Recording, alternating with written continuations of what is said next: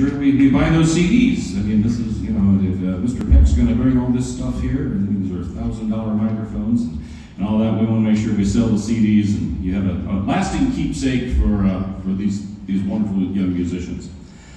All right, next tune is from our, our contest set we did the other day.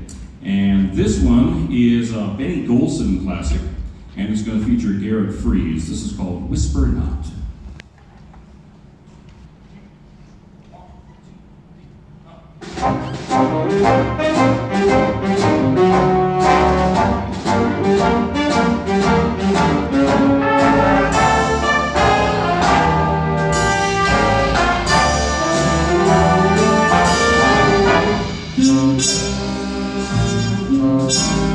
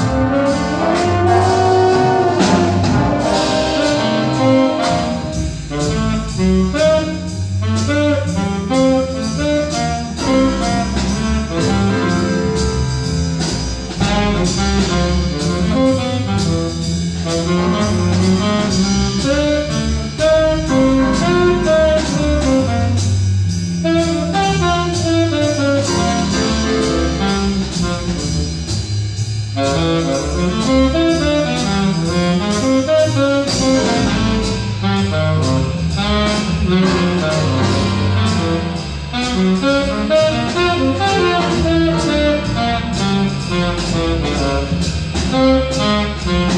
you.